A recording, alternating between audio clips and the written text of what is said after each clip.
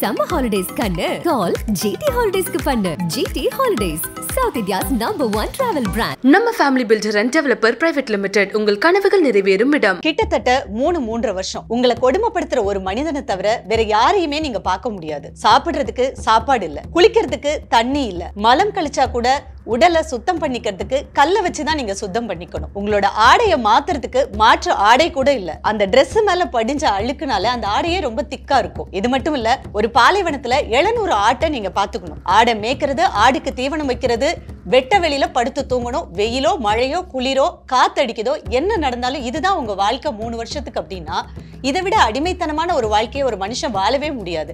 அப்படிப்பட்ட ஒரு மனுஷன் தான் நஜீப். அவருடைய கதை தான் ஆடு ஜீவிதம். ஒரு மனுஷன் உயிரோட வாழும்போது அவன் பட்ட கஷ்டத்தை அடிமைத்தனத்தை ரத்தமும் சதையுமா எழுத்துக்கள்ல சொல்லப்பட்ட ஒரு நாவல் தான் ஆடு ஜீவிதம். ஜீவிதம்னா வாழ்க்கை. மலையாளத்துல பென்யமின் அப்படிங்கிறவர் எழுதின இந்த நாவலுக்கு ரெண்டாயிரத்தி ஒன்பதுல கேரளாவுல கேரள அரசு சாகித்ய அகாடமி விருது கொடுத்து கௌரவிச்சாங்க. சுவாரஸ்யமான நம்பிக்கையான ஒரு மனுஷனோட அடிமைத்தனத்தை சொல்ற ஒரு நாவல் ஆடு ஜீவிதம் புத்தகம் படிக்கிறது உங்களுக்கு ரொம்ப பிடிக்கும் அப்படின்னா கண்டிப்பா வாழ்க்கையில ஆடு ஜீவிதம் அப்படிங்கிற புத்தகத்தை படிக்கணும் அப்படிங்கிறது தான் மிகப்பெரிய அறிஞர்கள் சொல்றதா இருக்கு. ஒரு தத்துவம் ஒண்ணு சொல்லுவாங்க. நம்ம மிகப்பெரிய துக்கத்துல இருக்கோம் துயரத்துல இருக்கோம் அப்படின்னா அதுலேருந்து வெளிவரதுக்கான ஒரே வழி நம்மளை விட ரொம்ப கஷ்டப்படுறவங்களையும் துக்கப்படுறவங்க துயரப்படுறவங்களோட கதைகளை கேட்கறது தான் அப்படிங்கிறது தான் மிகப்பெரிய தத்துவமாக சொல்லப்பட்டு வருது. அப்படி பார்க்கும்போது நஜீப்போட வாழ்க்கையை ஆடு ஜீவிதம் அப்படிங்கிற இந்த நாவலில் வரிகளில் எழுத்துக்களில் சொல்லியிருக்கக்கூடிய துக்கமும் துயரமும் அதை படிக்கும்போது நாமெல்லாம் பட்ட கஷ்டம் ஒரு கஷ்டமா அப்படின்னு உங்களை கண்டிப்பாக உணர வைக்கும்.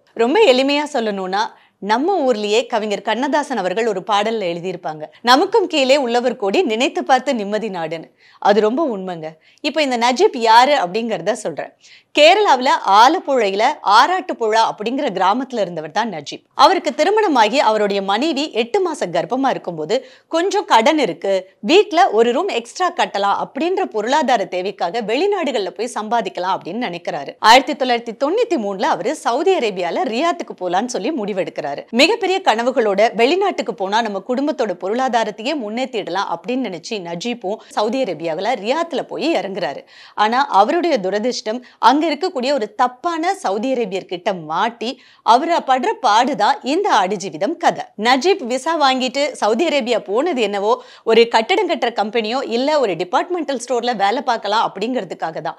ஆனா அவர் தப்பா மாட்டிக்கிட்ட அரேபியர் கட்டடங்களே இல்லாத மரங்களே இல்லாத பாதை வழியா அவர் அவரை கூட்டிட்டு போகும்போதே ரொம்ப பயமா இருந்திருக்கு நஜீப்க்கு. அந்த பாலைவனத்துல இரவு நேரத்துல பல மைல் தூரம் கடந்து போய் ஒரு இடத்துல நிற்கும் போது அங்க என்ன இருக்கு அப்படிங்கறதே நஜீபுக்கு தெரியல. ஒரு குடில் மட்டும் இருந்திருக்கு ஒரு சின்ன கொட்டகை மாதிரி. அதை சுத்தி பார்த்தா வேலி போட்டிருக்க மாதிரி தெரியுது. பட் ஆடுகளோட சத்தம் லேசா கேட்டிருக்கு. நம்ம எங்க வந்து நிக்கிறோம் அப்படிங்கறதே நஜீபுக்கு தெரியல.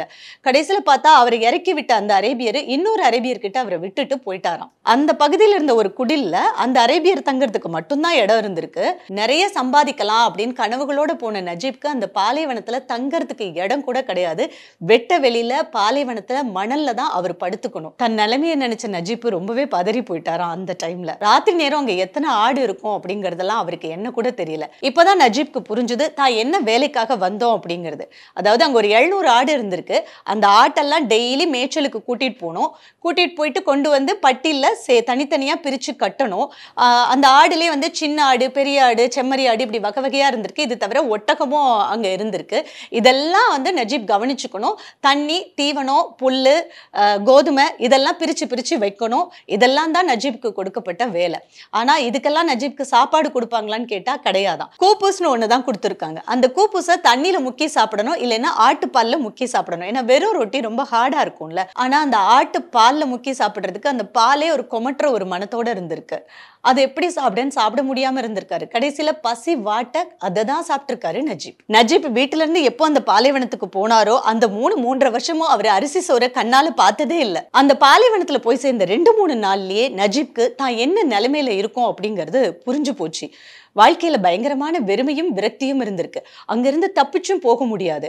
எவ்வளோ தூரம் ஓடி போனாலும் அந்த சவுதி அரேபியர் ஒரு டெலஸ்கோப் வச்சிருப்பாராம். அதுல பார்த்து பின்னாடியே கார்ல போய் பிடிச்சிட்டு வந்து பெல்ட்டால அடி வெலாசி இருந்திருக்காரா ஸோ தப்பிக்கவும் முடியாது. அதில் மாட்டிக்கிட்டு அந்த வேலைகளை செய்ய கற்றுக்கிட்டு இருந்திருக்காரு.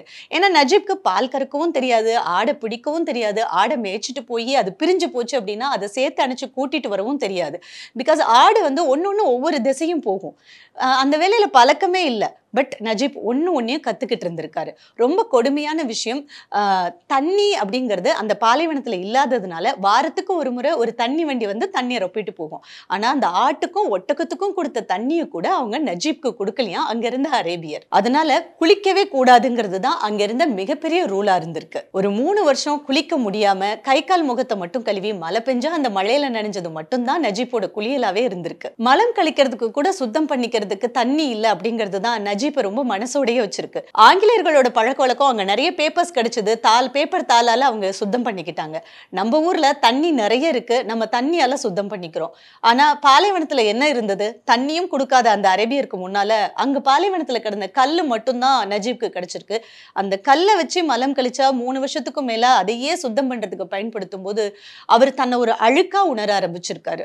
நஜீப் நிறைய நேர்காணல்களில் அங்கிருந்த அரேபியர் அவங்களும் குளிச்சதில்ல. அவர்கிட்டயும் ஒரு கெட்ட நாத்தம் அடிக்கும். ஆட்டு மந்தையில ஆடையும் குளிப்பாட்டினதில்ல அவங்க. அந்த ஆட்டு மேல ஒரு கெட்ட நாத்தம் ரொம்ப அடிக்கும். நாளடைவில் அதே நாத்தம் என் மேலேயும் அடிக்க ஆரம்பிச்சது. ஏன்னா முடி வெட்டினதில்ல. ஸோ தலைமுடியும் தாடியெல்லாம் வளர்ந்து வயிறு வர நீண்டு இருந்தது. குளிச்சதில்ல. ஆட்டு மேலே இருக்கக்கூடிய பூச்சி சின்ன சின்ன கொசு கிருமி இது எல்லாமே இவர் மேலேயும் வந்திருந்திருக்கு. தன்னோட நிறமே மங்கி போச்சு. பாலைவனத்துல ஆடு மேயறதுக்கு புல்ல சாப்பிடவோ போறதில்ல. ஏன்னா அந்த மண்ணே வறண்டு தான் இருக்கும். ஆனா அந்த ஆட்டுக்கு நடைப்பயிற்சி கொடுக்கணும் அப்படிங்கிறதுக்காக எழுநூறு ஆடையும் பட்டி பட்டியா பிரிச்சு வச்சிருப்பாங்கல்ல ஒரு ஒரு பட்டியில இருக்க ஆடையும் நடைப்பயிற்சிக்கு பல கிலோமீட்டர் கூட்டு போயிட்டு திருப்பி வந்து பட்டியில் அடிக்கணும். அப்புறம் ரெண்டாவது பட்டியில இருக்க ஆடு அப்புறம் மூணாவது பட்டியில இருக்கிற ஆடு அதுக்கப்புறம் ஒட்டகங்கள் அதுக்கப்புறம் அதுக்கு தீவனம் ஒரு ஒரு பட்டியிலையும் போய் தண்ணி வைக்கணும். அந்த ஆடு போடுற ஆட்டாம்புழுக்கு அதெல்லாம் க்ளீன் பண்ணணும். இப்படி இருபத்தி நாலு மணி நேரத்துல மிக குறைஞ்ச நேரம் தான் நஜீப்பால தூங்கவே முடிஞ்சிருக்கு. அவ்வளவு கடுமையான வேலைகள் இருந்திருக்கு. வேலையில் ஏதாவது தப்பு பண்ணிட்டாரு அப்படின்னா அந்த அரேபியர் பெல்ட்டை கலத்தி அடிச்சிருவாராம் மூஞ்சில் எச்சி துப்புறது காலால் நெஞ்சில் எட்டி மிதிக்கிறது இந்த மாதிரி பல கொடுமைகள் அனுபவிச்சிருக்கிறார். ஒழுங்கான சாப்பாடு இல்லை. சரி நைட் ஆனால் தூங்கவாது முடியுமா அப்படின்னு பார்த்தா வெறும் மணல்ல தான் படுத்து தூங்கணும். வேற எந்த ஒரு விரிப்போ படுக்கையோ எதுவுமோ கிடையாது. வெயில் மழை குளிர் புயல் என்ன இருந்தாலும் ஒரு குடிலுக்குள்ள போகிறதுக்கான உரிமை நஜீப்க்கு கிடையாது. ஏன்னா குடில்ல முதலாளி அரேபியர் இருக்காரு அப்படிங்கிறதுனால கடுமையா உழைச்சிட்டு அந்த கலைப்புலேயே அந்த வெட்டாந்திரையில மணல் மேல படுக்கிறதுக்கு கத்துக்கிட்டாரா நஜீப். இந்த நாவல்ல ஒரு இடத்துல ரொம்ப அருமையான ஒரு சம்பவத்தை சொல்லியிருப்பாங்க. நஜீப் கேரளால இருந்து சவுதி அரேபியாவுக்கு போகும்போது அவருடைய எட்டு மாத கர்ப்பிணி மனைவியை விட்டுட்டு வந்திருப்பாரு. முதல் மூணு மாசத்துக்கு அப்புறமா ஒரு ஷேக் யாரையோ அந்த ஆட்டுக்கொட்டக பக்கத்துல பார்த்துருக்கும் போது ஒரே ஒரு லெட்டர் மட்டும் தான் வீட்டுக்கு போட்டிருக்காரு. நான் வந்து ஒரு பாலைவனத்துல ஆடுகள் கிட்ட வேலை செய்யற ஒரு ஆட்டு அடிமையா இருக்கேன். என்னை காப்பாற்றணும் வெளியில வரணும்னு சொல்லி அவரோட மனைவிக்கு லெட்டர் அனுப்பியிருக்காரு. அந்த நல்ல மனிதர் மூலியமா அந்த ஒரு லெட்டர் மட்டும்தான் மனைவிக்கு போயிருக்கு. வேற எந்த ஒரு தொடர்புமே நஜீப்புக்கு அவர் மனைவி கிட்டயோ குடும்பத்தார்கிட்டயோ அதுக்கப்புறமா இல்ல. ஏன்னா நஜீப்க்கு வெளி உலகத்து கூட எந்த ஒரு தொடர்புமே இல்லாம அந்த அரேபியர் பார்த்துட்டு இருந்திருக்காரு. நஜீப்க்கு தன் மனைவியோட பிரசவத்துல மகள் பிறந்தாங்களா இல்ல மகன் பிறந்தாங்களா அப்படிங்கறதே தெரியாம இருந்திருக்கு. பாலைவனத்துல ஒரு முறை ஆட்டை மேய்ச்சிட்டு போகும்போது அதுல ஒரு கர்ப்பிணி ஆடு இருந்திருக்கு. அந்த ஆடு வந்து ஏதோ வித்தியாசமா சத்தம் போட்ட உடனே இதுக்கு பிரசவ நேரம் தான் அப்படிங்கிறது நஜீப்க்கு தோணியிருக்கு. அப்போ எல்லா ஆட்டையும் மேய்ச்சிட்டு போயிட்டு இருக்காரு இந்த ஒரு ஆடு கர்ப்பிணி ஆடு மட்டும் வலியில ஒரு மாதிரி அந்த இடத்த விட்டு நகராம படுத்துருச்சாமா? ஸோ நஜீப்புக்கு என்ன பண்ணன்னு தெரியல. அந்த ஆட்டோட பிரசவத்துக்கு நஜீப் உதவி பண்ணணுமா? மற்ற ஆடுகளை வரிசையா கூட்டிட்டு போய் கொட்டகையில அடைக்கணுமா? அப்படின்னு சொல்லி அவருக்கு ஒரு மிகப்பெரிய சந்தேகம் வந்திருக்கு. ஆனா தன் கர்ப்பிணி மனைவியை நினைக்கும் போது நஜீப் உடனே அந்த கர்ப்பிணி ஆட்டோட பிரசவத்துக்கு உதவி செய்யலாம்னு நினைச்சு அந்த குட்டி ஆடை கையில ஏந்துறாரு. அந்த சமயத்துல மற்ற ஆடுகள் ஆடுகள்லாம் சிதறி ஓடுனோன்னு இவரை பார்த்துக்கிற அந்த அரேபியர் வந்து முதுகுல சொல்லீர்னு பெல்ட்டால ஒரு அடி அடிச்சிருக்காரு. ஏற்கனவே நஜீப் தனக்கு மகன் பிறந்தா நபீல்னு பேர் வைக்கணும் அப்படின்னு நினைச்சிருந்ததுனால அந்த பிறந்த ஆட்டுக்குட்டிக்கு ஆண் ஆட்டுக்குட்டியா இருந்த உடனே நபீல்னு பேர் வச்சு ரொம்ப செல்லமா அந்த ஆட்டுக்குட்டியை நான் வளர்த்தேன் அப்படின்லாம் சொல்லியிருக்காரு. இப்படி ஆடுகளோடையே தன் வாழ்க்கையை வாழ்ந்த நஜீப்புக்கு கிட்டத்தட்ட வெளி உலக மனிதர்களும் அவங்களோட வாசமும் மறந்தே போகுது. அந்த ஆட்டுக்கொட்டகை அங்கிருந்த நாத்தம் ஆடுகளோட பேசுறது சிரிக்கிறது தன்னையுமே ஒரு ஆடா நினைக்க ஆரம்பிச்சிருக்காரு நஜீப். இந்த நாவல்ல சொல்லப்பட்டிருக்கக்கூடிய இன்னொரு ஒரு முக்கியமான சம்பவம் என்னன்னா ஒரு மனிதனுடைய இயற்கையான உணர்வுகள்ல ஒண்ணுதான் காமம். கிட்டத்தட்ட மனித தொடர்பே இல்லைனாலும் கூட ஒரு அடிமைத்தனமான வாழ்க்கையை வாழ்ந்தாலும் நல்ல சாப்பாடு நல்ல உடை குளியல் இந்த மாதிரி பேசிக்கான எந்த விஷயங்களும் இல்லை அப்படின்னாலும் கூட ஒரு குளிர் காலத்துல நஜீபுக்கு பயங்கரமான ஒரு காம உணர்வுகள் வந்திருக்கு. என்ன பண்ணாலும் நம்மளால அதை அடக்க முடியலையே அப்படின்னு அவர் யோசிக்கும் போது அவரு அங்க இருக்கக்கூடிய ஒரு ஆட்டோட தன்னுடைய இந்த உணர்வை தீர்த்துக்கிட்ட ஒரு விஷயத்தையும் இந்த நாவலை எழுதின பென்யாமின் அதை ஆபாசமா இல்லாம ரொம்ப அருமையா வார்த்தைகள்ல வெளிப்படுத்தி இருக்கிறாரு இந்த நாவலை நீங்க முதல் வரியில இருந்து படிச்சீங்க அப்படின்னா இந்த சம்பவத்தை உங்களால தவறா எடுத்துக்கவே முடியாது. அந்த சம்பவத்துல இருக்கக்கூடிய அத்தனை தார்மீக நியாயத்தையும் எழுத்தாளர் அவ்வளோ அழகா கொண்டு வந்திருப்பார். நம்மளோட துக்கத்தையும் துயரத்தையும் பகிரதுக்கு ஒரு நபர் பக்கத்துல இருந்தாங்க அப்படின்னா நம்மளோட துயரத்தை குறைக்க முடியும். இல்ல எப்பேற்பட்ட துக்கத்தையும் நம்ம தாங்கிக்க முடியும் அப்படிங்கிறது தான் நியதி. ஆனால் நஜீப்புக்கு யாருமே இல்லை. ஆடு தான் இருந்தது. ஆட்டுக்கிட்ட மட்டும்தான் அவரோட துக்கத்தையும் துயரத்தையும் அவரால் பேச முடிஞ்சுது. ஆனால் நஜீப் கிட்ட இருந்த ஒன்னே ஒன்று கடவுள் நம்பிக்கையும் சீக்கிரமாக என் வாழ்க்கை மாறும். நான் இங்கேருந்து தப்பிச்சு போயிடுவேன் அப்படிங்கிற ஒரு நம்பிக்கையும் தான். அந்த ஆட்டு மந்தைய மசாரா அப்படின்னு அரேபிய மொழியில சொல்றாங்க. அந்த ஆட்டு மந்தைக்கு வெளி இடத்துல இருந்து ஒரு நபர் வராங்க அப்படின்னா அங்க அப்பப்ப அங்க தண்ணி இறக்கிறதுக்காக தண்ணி போடுறதுக்காக வர தண்ணி வண்டி கோதுமை வண்டி வைக்கோல் வண்டி இது மட்டும் தானா ஆனா அந்த வண்டியில வர டிரைவர்கள் கிட்ட ஏதாவது பேசி நம்ம தப்பிச்சிடலாம் அப்படின்னு யோசிச்சா கூட அது முடியாதான் நஜீப்பால? ஏன்னா நிறைய நேரம் அந்த வண்டி வரும்போது அந்த அரேபியர் அந்த இடத்துல நஜீப் இல்லாத மாதிரி மேய்ச்சலுக்கு அனுப்பிடுவாங்களாம். அப்படியே இருந்தா கூட ஒரு வார்த்தை பேசினா கூட ஒரு அடி விழுமா? அந்த அளவுக்கு நஜீப் யார்கிட்டயும் பேசாம ரொம்ப பத்திரமா பாதுகாத்து பார்த்திருக்காரு அந்த அரேபியர். உண்மையா சொல்ல போனா வாழ்க்கையில் நம்ம ஊரில் வீடுகளில் குடும்பங்களில் நம்ம சொந்தக்காரங்களோட நாம இருக்கும்போது நமக்கு இந்த மாதிரியான கஷ்டங்களெல்லாம் நினச்சி கூட பார்த்துருக்க மாட்டோம். நஜீப்பும் ஒரு அழகான குடும்பம் கேரளா மாதிரியான செழிப்பான ஊர். அங்கே இருந்துட்டு வேலைக்காக ஒரு பாலைவனத்துக்கு போய் இத்தனை கொடுமைகளையும் அனுபவிக்கும் போது ஒரு மனிதனுக்கு என்ன மாதிரியான ஒரு உணர்ச்சிகள் வந்திருக்கும்? தான் உயிரை மாற்றிக்கணும் அப்படின்னு தோணியிருக்கலாம். இல்லை பைத்தியம் ஆயிருக்கலாம் எ- எ- என்ன வேணால் நடந்திருக்கலாம். நஜீப் படிச்சிருந்தது அஞ்சாம் கிளாஸ் தான். ஆனா அவருடைய மனப்பக்குவம் அப்படிங்கிறது மிக பிரம்மாண்டம். நமக்கெல்லாம் ரொம்ப ஆச்சரியத்தை கொடுக்கக்கூடிய ஒரு விஷயம்தான். ஏன்னா வாழ்க்கையில ரொம்ப பெரிய கஷ்டங்கள் வரும்போது அதை நினைச்சு புலம்பாம அதை ஏத்துக்கிட்டு அமைதியா அதை கடந்து போற மனநிலை அப்படிங்கிறது ரொம்ப அசாத்தியமான துணிச்சலான தைரியமான மனநிலை அப்படின்னு தான் சொல்லணும். நஜீப்போட கதையை படிக்கும் போதும் அவரை பத்தி நாம தெரிஞ்சுக்கும் போதும் நாம கத்துக்க வேண்டியது என்னன்னா நம்ம சின்ன சின்ன பிரச்சனை நடந்தாலும் சின்ன சின்ன சோகம் துக்கம் சின்ன பிரச்சனைக்கே நம்ம பெருசா அலட்டிக்கிறோம். சே இந்த மனுஷன் எப்படி இதை தாங்கிக்கிட்டு அங்கிருந்து தப்பிச்சு திருப்பி குடும்பத்தோட இணைஞ்சாரு. எப்படி இது முடிஞ்சது அப்படிங்கறத தான் புரிய முடியுது. நஜீப்போட பாலைவன அடிமைத்தனமான வாழ்க்கையை பார்க்கும்போது இதை விட ஒரு மனுஷனுக்கு வாழ்க்கையில வேற இன்னும் நடக்கிறதுக்கு இல்லவே இல்லை அப்படின்ற ஒரு நிலையை தான் அவர் வாழ்ந்திருக்காரு. ஆனா அது அத்தனையும் அங்கிருந்து மீற முடியுமா அப்படின்னு யோசிச்சா அது அவரால் மீற முடியல. அப்போ அதை அத்தனையும் ஏத்துக்கிட்டு அங்கேயே தான் கடந்து போகணும் அப்படிங்கும்போது நஜீப் அதை புலம்பாம பொறுமையாக தான் அதை கடந்திருக்காரு. நஜீப் அந்த நேரத்திலையும் கைவிடாதது கடவுள் நம்பிக்கையையும் இந்த கஷ்டமான வாழ்க்கையில இருந்து நாம ஒரு நாள் வந்து கண்டிப்பாக நம்ம வெளியில் போய் நம்ம குடும்பத்தோடு சேர்ந்து சந்தோஷமாக இருப்போம் அப்படிங்கிற நம்பிக்கையான மனநிலையும். இதை வந்து எழுத்தாளர் ஒவ்வொரு இடத்துலையும் நஜீப்போட அந்த மனநிலையை பதிவு பண்ணிகிட்டே வந்திருக்கிறாரு. நஜீப் இடத்துல வேறு யாராவது இருந்தால் கண்டிப்பாக இறந்து போயிருப்பாங்க அப்படிங்கிறதையும் அவர் சொல்லியிருக்கிறாரு. நம்மலாம் ஒரு ஒரு சின்ன பிரச்சனைக்கும் அதை ஹேண்டில் பண்ண முடியாமல் தற்கொலை முயற்சி வரைக்கும் போகிறவங்கள நம்ம பார்த்துருக்கோம் நம்ம கூட வாழ்றவங்கள. இல்லை புலம்பிக்கிட்டே இருக்கிறத பார்த்துருக்குறோம். அவ்வளோ நெகட்டிவிட்டி ஒரு பிரச்சனையை சமாளிக்க முடியாமல் எது எதிர்மறையா யோசிக்கிறது இல்ல பிரச்சனையை டபுளா ட்ரிபிளா மாத்திக்கிறது இதை மட்டுமே பண்ணிட்டு இருக்கோம். நல்ல சூழல் நம்மளுக்கு இருக்கு அப்படிங்கிறது ஆடு ஜீவிதம் நாவல்ல நஜீப்போட கதையை படிக்கிற ஒரு ஒருத்தருக்கும் தான் எவ்வளவு நல்ல இடத்துல இருக்கோம் அப்படிங்கிறது கண்டிப்பா புரியும். இப்படியே நஜீப்போட வாழ்க்கை ஒரு மூன்றரை வருஷமா ஓடிட்டு இருக்கு. திடீர்னு கொஞ்சம் பக்கத்தில் ஒரு ஆட்டுக்கொட்டகை அதாவது ஆட்டுக்கொட்டகையை அரேபியர்கள் மசாரான்னு சொல்கிறாங்க அங்கேருந்து ஒரு ஆளோட நட்பு கிடச்சிருக்கு. அவரும் நஜீப்பும் சேர்ந்து தப்பிக்கலான்னு முடிவெடுக்கிறாங்க. தொண்ணூற்றி மூணில் பாலைவனத்தில் ஆட்டுக்கொட்டைகளை போய் மாட்டின நஜீப் தொண்ணூற்றி அஞ்சில் அந்த அரேபியரோட மகளுக்கு கல்யாணம்னு ஒரு நாள் நைட்டு அவர் இல்லாதப்போ அங்கேருந்து வெளியில் தப்பிக்கிறாரு.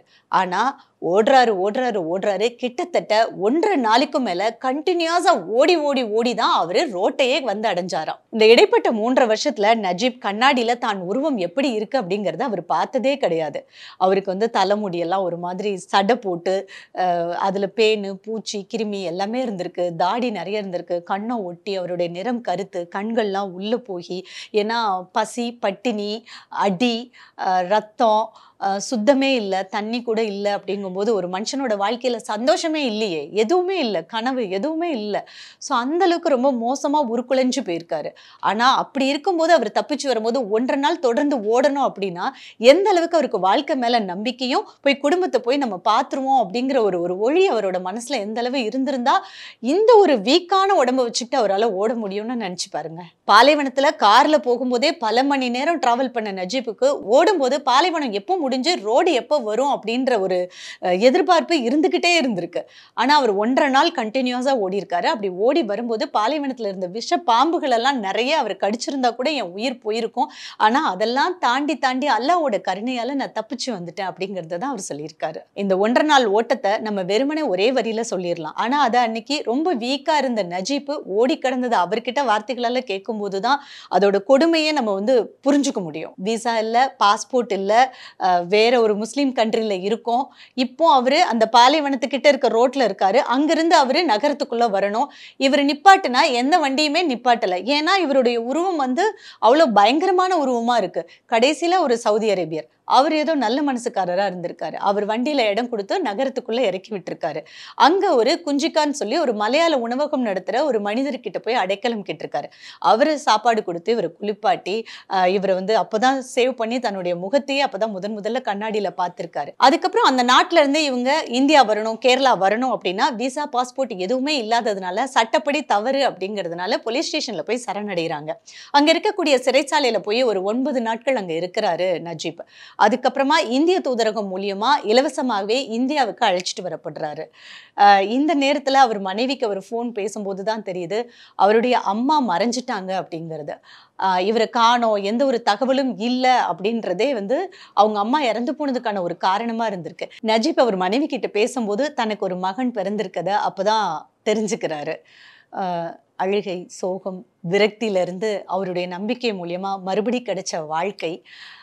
ஸோ இதுதான் நஜீப்போட உண்மையான ரத்தமும் சதையுமான கதை ஆடு ஜீவிதம். இந்த பக்கம் நஜீப் பாலைவனத்தில் பட்ட கஷ்டம் மாதிரி அந்த பக்கம் அவங்களோட மனைவியும் கஷ்டப்பட்டிருப்பாங்க இல்லையா? கணவரை காணோம். வருவாரா? வரமாட்டாரா? உயிரோட இருக்காரா? இல்லையா?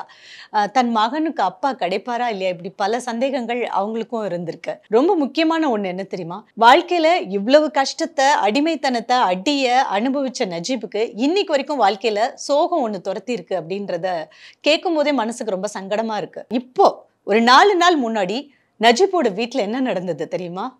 அவருடைய பேத்தி ஒன்றரை வயசு நிமோனியாவால அந்த குழந்தை இறந்திருக்கு. ஒரு மனுஷனுக்கு வாழ்க்கையில துக்கமும் சோகமும் தொடர்ந்து வந்துகிட்டே இருந்தா எப்படிதான் சமாளிக்கிறது? இல்ல எப்பயாவது ஒரு விடிவு காலம் வேண்டாமா? எல்லாரும் தனக்கு நிறைய பிரச்சனைகள் நடக்கும்போது இதோட போதும் நிப்பாட்டிக்க கடவுளே நான் ரொம்ப அனுபவிச்சுட்டேன். இனிமே எனக்கு எதுவும் கொடுக்காதேன்னு வேண்டவங்களெல்லாம் நம்ம பார்த்துருக்கோம். நஜீப் இப்போ சொல்றது அதுவாக தான் இருக்கு. எனக்கு கொடுத்த கஷ்டம்லாம் போதாதா? ஏன் இன்னும் என் வாழ்க்கையில இருந்து சந்தோஷத்தை பறிச்சுக்கிட்டே இருக்கீங்க? அப்படிங்கிறது. நஜீப்போட பேத்திக்கு சுவாச பிரச்சனை இருந்திருக்கு. ஸோ நிமோனியா ஃபீவரும் வரும்போது அந்த குழந்தை தவறி இருக்காங்க. நஜீப்போட கதை தான் ஆடு ஜீவிதம் படம். இந்த படம் ரிலீஸ் ஆகக்கூடிய சூழல்ல தான் இந்த குழந்தை இறந்து போயிருக்கு. நஜீப்புக்கு அவருடைய உண்மை கதை உலகமே தெரிஞ்சுக்கிற மாதிரி நாவலாக வந்தப்ப ஒரு சந்தோஷம் இருந்தது. இப்போ அது திரைப்படமா எடுக்கப்பட்டு பல மொழிகளில் டப் பண்ணப்பட்டு அது திரைப்படமா வெளிவர இருக்கக்கூடிய இந்த சூழல்ல அவரோட பேத்தி இறந்து போயிட்டாங்க அப்படிங்கிறது அவருக்கு எப்படி ஒரு கஷ்டமான மனநிலையா இருக்கும்? பென்யாமின் எழுதின ஆடு ஜீவிதம் கதையை இயக்குனர் பிளஸ்ஸி டைரக்ட் பண்ணியிருக்கிறாரு. மலையாள நடிகர் பிருத்திவிராஜ் சுகுமாரன் தான் நஜீப்போட கதாபாத்திரத்தை ஏத்து நடிச்சிருக்கிறது. அவருடைய மனைவியா அமலா பால் நடிச்சிருக்கிறாங்க. இசை ஏ ஆர் ரகுமான். இந்த படத்துக்காக பிருத்திவிராஜ் நஜீப் மாதிரி இயற்கையாகவே தான் பட்டினியை உணரணும் அப்படிங்கிறதுக்காக கிட்டத்தட்ட 72 ரெண்டு மணி நேரம் சாப்பிடாமலாம் இருப்பாராம். பிருத்திவிராஜ் அவர்களோட மனைவி சொல்கிறாங்க என் கணவருக்கு அடிக்கடி பசிக்கும். குட்டி குட்டியாக பசிச்சு அடிக்கடி சாப்பிடுவாங்கல்ல சில பேர். அந்த மாதிரி அவர்.